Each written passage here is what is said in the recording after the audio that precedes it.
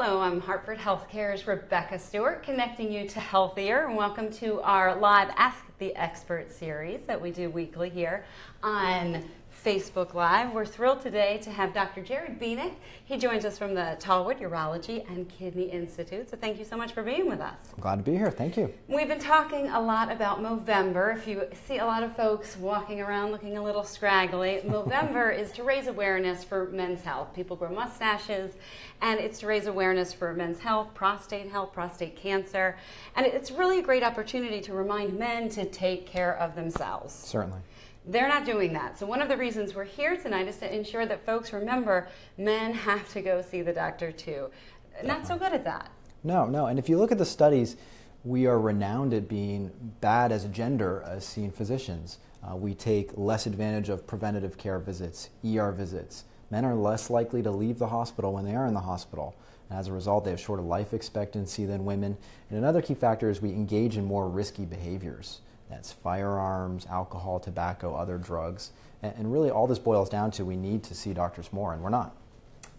Dr. Bieniek reminding all of us that to remind the men in our lives, it is time to make sure that we send folks to physicians. We, um, we know that there's some things that are just kind of embarrassing to talk about, and mm-hmm. that's another reason we're here because talking about it can be uncomfortable. Mm-hmm. So, what is your advice? Well, I think it's really important that men establish care with somebody that uh, can get them in a comfortable, uh, familiar location, uh, can provide that access to them, not only from the location standpoint, but also the time that they need to discuss maybe these uncomfortable topics. Um, sometimes that may not be the first physician you meet. You might need to meet some other ones um, and make sure you meet physicians in the specialties that you need to be addressing as well. When does someone know I need to go see a urologist? And then I'm going to start looking at our questions that we're getting because we want to remind you we are here for you. You have a great opportunity to talk one on one with Dr. Bieniek. But when do they know?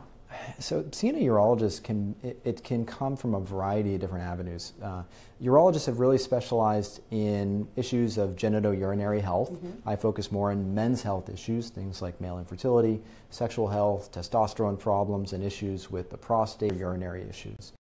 Um, and, and, usually referrals are coming from another physician, but often men realize that they have an issue that is addressed by a urologist. Maybe the erections aren't working quite as well as they used to be, or maybe a man in a couple trying to get pregnant isn't succeeding after several months, and, and they really self refer because they're able to uh, find somebody who can help them with those issues.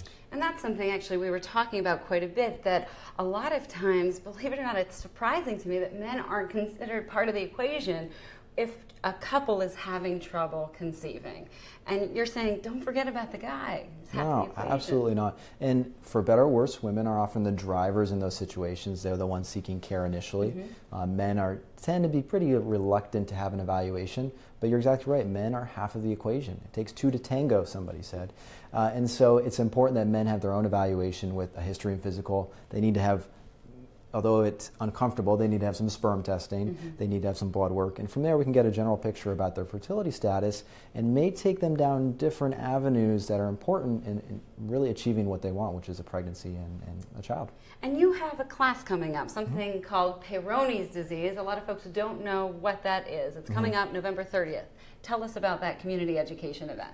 So let me introduce Peyronie's disease first because it's kind of an abstract idea. In fact, I saw one gentleman who told me he didn't even realize he had a disease until he had heard from somebody else.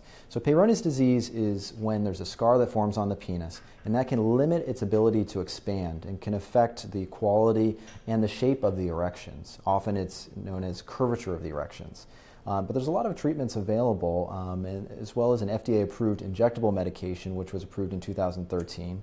Uh, and we're going to be talking about those at our community education event, as well as the, the history of Peyronie's disease and what men can expect, how it may be impacting their lives, uh, coming up on November 30th. Are you surprised when people come to you and does, is there a sense that I can finally unload and unleash and talk about this?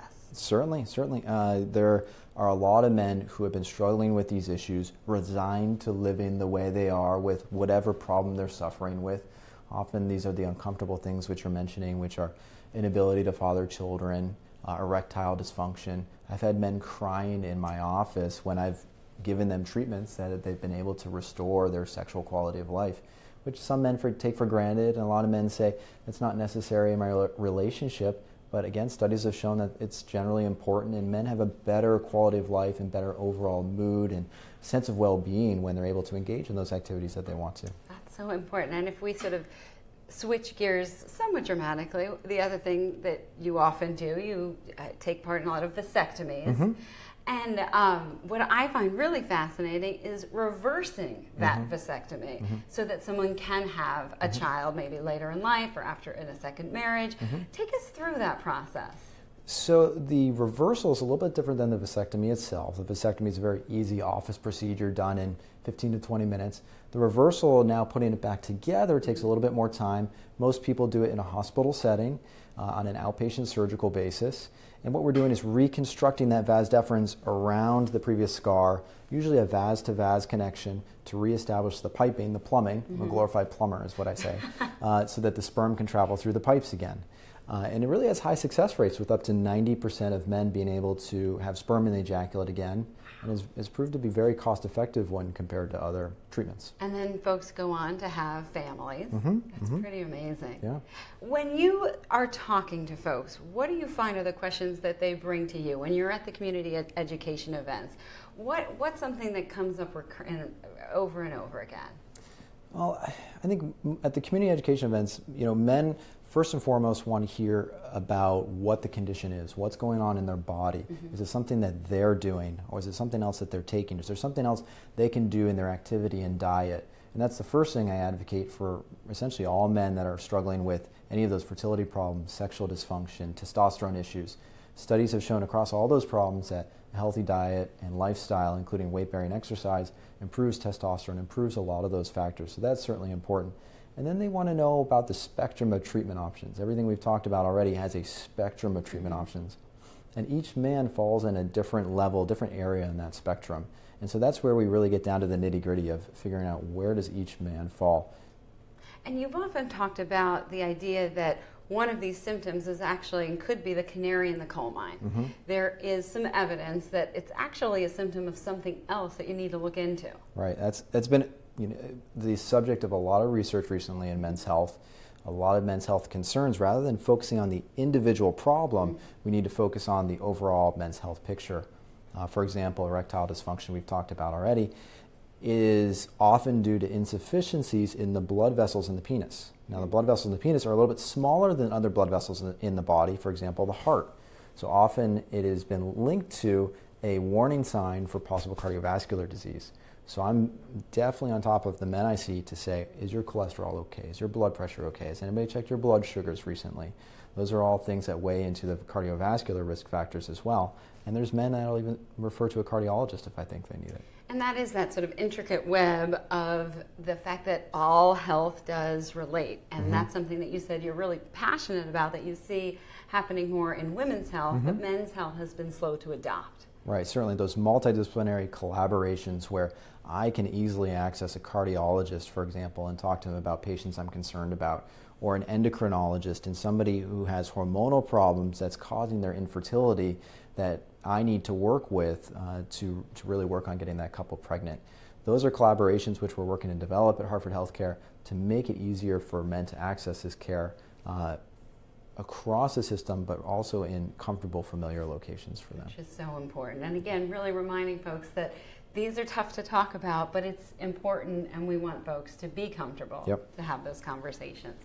Dr. Jared Bieniek, thank you so much for joining us with thank the Tallwood Urology and Kidney Institute. Again, there is a class coming up speaking about Peyronie's mm-hmm. disease. That is November 30th in Windsor, and you can always call 855 HHC here, and that number should be on your screen. Thank you so much for taking part, and we thank you for watching.